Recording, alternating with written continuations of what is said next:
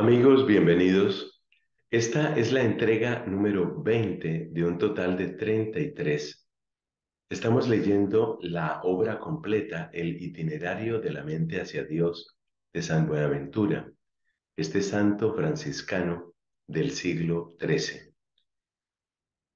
Hoy iniciamos la lectura del capítulo cuarto, son en total siete capítulos, y este capítulo cuarto cambia la perspectiva porque hasta el capítulo tercero el santo nos hablaba de lo que es propio de la creación.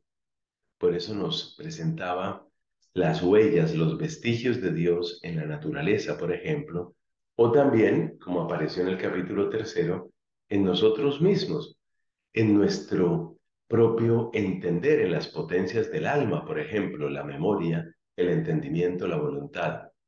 El capítulo cuarto, como digo, trae un cambio de perspectiva porque aquí vamos a referirnos a lo que Cristo y la redención de Cristo traen dentro de este cuadro maravilloso.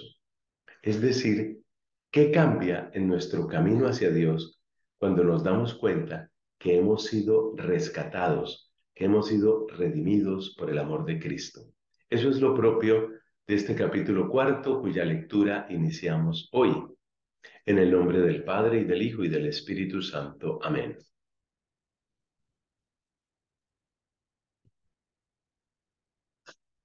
Mas porque acontece contemplar al primer principio, no sólo pasando por nosotros, sino también quedando en nosotros. Y esto lo segundo es más excelente que lo primero, por eso esta manera de considerar obtiene el cuarto grado de la contemplación.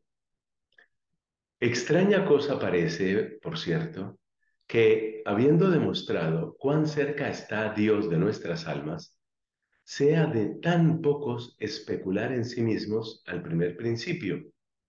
Pero la razón es obvia. Distraída el alma con los cuidados, no entra en sí misma por la memoria, anublada con los fantasmas de la imaginación, no regresa a sí misma por la inteligencia y seducida por las concupiscencias, no vuelve a sí misma por el deseo de la suavidad interior ni por el de la alegría espiritual. Por eso, postrada enteramente en estas cosas sensibles, no puede entrar de nuevo en sí misma como en imagen de Dios. Y porque donde uno cae, allí debe necesariamente estar tendido. Si no hay quien le dé la mano y le ayude a volver a levantarse, no pudiera nuestra alma elevarse perfectamente de las cosas sensibles a la cointuición de sí propia y de la eterna verdad en sí misma, si la verdad tomando la forma humana en Cristo, no se hubiera constituido en escala, reparando la escala primera que se quebrara en Adán. De aquí es que por muy iluminado que uno esté por la luz de la razón natural y de la ciencia adquirida, no puede entrar en sí para gozarse en el Señor si no es por medio de Cristo, quien dice, yo soy la puerta. El que por mí entrare se salvará y entrará y saldrá y hallará pastos. Mas a esta puerta no nos acercamos, sino creyéndole, esperándole, amándole. Por lo tanto, si queremos entrar de nuevo en la fruición de la verdad como en otro paraíso, es necesario que ingresemos mediante la fe, esperanza y caridad del mediador entre Dios y los hombres, Cristo Jesús, quien viene a ser el árbol de la vida plantado en medio del paraíso.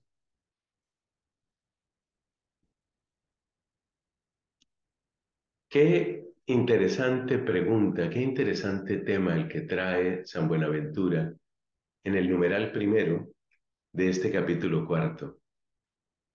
¿Por qué tan poquitos ¿Por qué tan poquitos descubren la imagen de Dios que está plasmada en nuestro propio ser?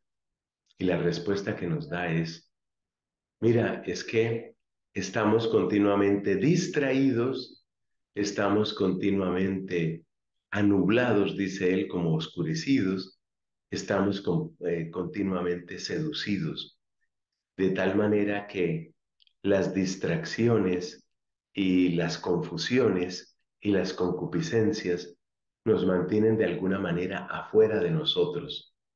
Qué bien recordar aquí las palabras de San Agustín cuando dice en sus confesiones, le dice al Señor, tú estabas dentro de mí, pero yo permanecía afuera.